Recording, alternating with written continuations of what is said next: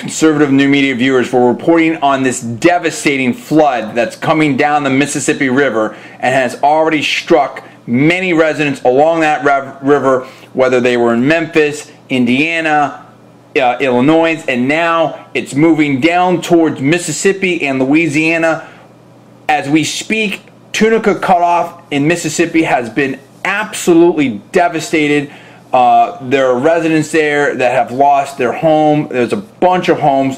Uh, there could be, you know, as many as 300 homes that are lost to the floods. This this flood situation has been really, you know, unbelievable in the terms of its scope and breadth. And we want to continue to follow this. Not only do we feel bad and obviously want to get the word out and, and hope that that help and aid and assistance comes to the people that have already been hit by the flood. But we also want to continue to monitor it because it is going to continue and go on down the Mississippi River.